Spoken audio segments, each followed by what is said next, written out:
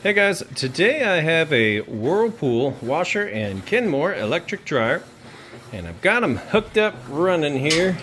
See this one's running, whole load of towels there getting started agitating, moving those clothes around nice and good. Now typically this little piece here goes in right there, locks the lid so you can't open it.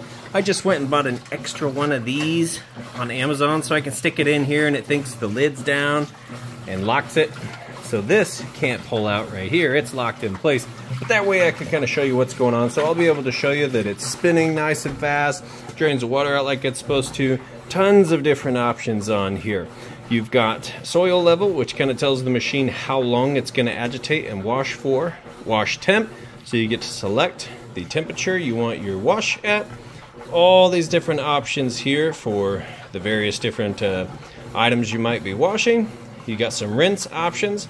I went one rinse with softener, which means it's going to fill all the way up with water on the rinse cycle. And that's how you would add the softener right in the middle there. You put your fabric softener right in there. However, I don't personally use fabric softener.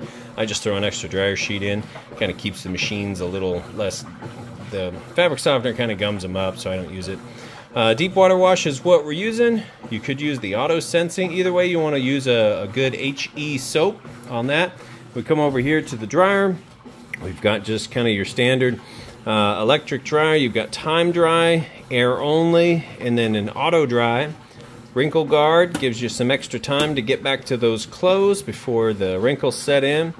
And then you've got your control here for your heat and then you can turn the cycle on and off at the end of the cycle. And of course, you push that there to uh, get it to go. So I don't have a hose hooked up on the back of here, so you can hear that blower motor pretty loud. But uh, otherwise, when you get it in your laundry room and put that vent hose on the back, it muffles the blower motor sound. But there you go. See in here, nice and bright, clean. Everything's been cleaned inside and out, top to bottom. And I'll show you here in a minute, once we move the clothes over, that the dryer's heating like it's supposed to and it's good to go.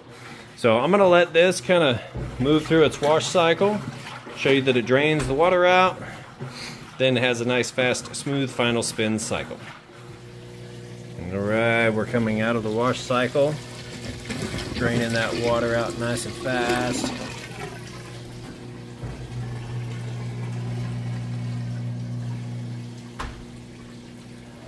Alright guys, we're coming into the final spin cycle and just want to reiterate that uh, it would be locked for you at home, but since I've got that additional lid lock striker here, we can see the actual spin cycle itself. Nice smooth operation, sounds great. As you can see, the machine's nice and balanced. Of course, you want to make sure the legs get leveled once you get it in place. Use your level front to back, side to side. It's the most important thing with these washers that spin super fast like this. Make sure you get a nice balanced load. So I'm going to let that finish up. We'll move the clothes over to the dryer and then I will show you that uh, that sounds great loaded down and heating appropriately. Okay, we're done here in the washer. That's cleaned out. I removed my little extra striker. So clothes nice and flat. We come over here to the electric dryer. I've got it running on that time dry with the heat on high and then uh, cycles off and that stuff didn't really matter. Oh, here you have your lint trap. You want to make sure that that gets changed out before each and every load so you got good airflow.